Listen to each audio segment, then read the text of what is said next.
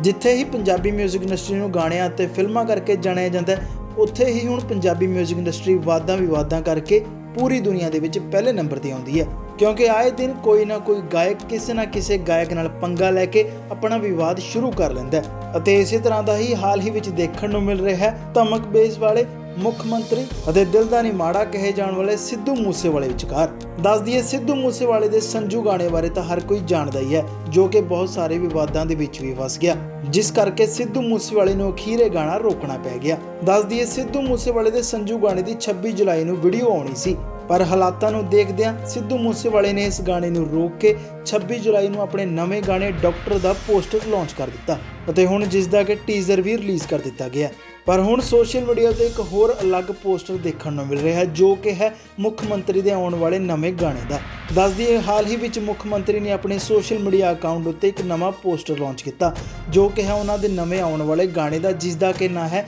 Real Sanju ਹਾਲਾਂਕਿ ਅਜੇ ਇਸ ਗਾਣੇ ਦੀ ਰਿਲੀਜ਼ਿੰਗ ਬਾਰੇ ਕੋਈ ਵੀ ਜਾਣਕਾਰੀ ਨਹੀਂ ਦਿੱਤੀ ਗਈ, ਪਰ ਇਸ ਕਮਿੰਗ ਸੂਨ ਦੇ ਪੋਸਟਰ ਦੇ ਨਾਲ ਹੀ ਸਿੱਧੂ ਮੂਸੇਵਾਲੇ ਦੇ ਫੈਨਸ ਨੇ ਮੁੱਖ ਮੰਤਰੀ ਨੂੰ ਕਮੈਂਟਾਂ ਦੇ ਵਿੱਚ ਕਾਫੀ ਕੁਝ ਬੋਲਣਾ ਸ਼ੁਰੂ ਕਰ ਦਿੱਤਾ। ਕਿਉਂਕਿ ਸਿੱਧੂ ਮੂਸੇਵਾਲੇ ਦੇ ਫੈਨਸ ਦਾ ਕਹਿਣਾ ਕਿ ਮੁੱਖ ਮੰਤਰੀ ਨੇ ਆਪਣੇ ਇਸ ਗਾਣੇ ਦੇ ਪੋਸਟਰ ਦੇ ਨਾਲ ਇੱਕ ਵਾਰ ਫਿਰ ਸਿੱਧੂ ਮੂਸੇਵਾਲੇ ਨੂੰ ਨੀਵਾ ਦਿਖਾਉਣ ਦੀ ਕੋਸ਼ਿਸ਼ ਕੀਤੀ ਹੈ। ਕਿਉਂਕਿ ਮੁੱਖ ਮੰਤਰੀ ਨੇ ਇਸ ਪੋਸਟਰ ਨੂੰ ਸ਼ੇਅਰ ਕਰਦਿਆਂ ਲਿਖਿਆ, ਰੀਅਲ ਸੰਜੂ, ਅਸਲੀ ਹੈ ਅਸਲੀ ਕਮਿੰਗ ਸੂਨ ਜਿਸ ਦੇ ਕਰਕੇ ਕਿ ਹੁਣ ਸਿੱਧੂ ਮੂਸੇਵਾਲੇ ਦੇ ਫੈਨਸ ਵੱਲੋਂ ਮੁੱਖ ਮੰਤਰੀ ਦਾ ਕਾਫੀ ਜ਼ਿਆਦਾ ਵਿਰੋਧ ਕੀਤਾ ਜਾ ਰਿਹਾ ਹੈ ਅਤੇ ਇਹ ਗਾਣਾ ਆਉਣ ਤੋਂ ਪਹਿਲਾਂ ਹੀ ਵਿਵਾਦਾਂ ਦੇ ਵਿੱਚ ਫਸਦਾ ਹੋਇਆ ਦਿਖਾਈ ਦੇ ਰਿਹਾ ਹੈ। ਸੋ ਹੁਣ ਤੁਹਾਡਾ ਕੀ ਕਹਿਣਾ ਹੈ? ਮੁੱਖ ਮੰਤਰੀ ਦੇ ਆਉਣ ਵਾਲੇ ਇਸ ਗਾਣੇ ਰੀਅਲ ਸੰਜੂ ਬਾਰੇ ਵੀਡੀਓ ਥੱਲੇ ਕਮੈਂਟ ਕਰਕੇ ਜਰੂਰ ਦੱਸਿਓ ਅਤੇ ਪੰਜਾਬੀ 뮤직 ਇੰਡਸਟਰੀ ਦੇ ਹੋਰ ਨਵੇਂ ਅਪਡੇਟਸ ਜਾਣਨ ਲਈ ਸਾਡਾ ਚੈਨਲ ਸਬਸਕ੍ਰਾਈਬ ਕਰ ਲਓ ਤੇ ਬੈਲ ਆਈਕਨ ਤੇ ਵੀ ਕਲਿੱਕ ਕਰ ਲਓ। Bureau report, channel Satrang for more updates subscribe channel satrang.com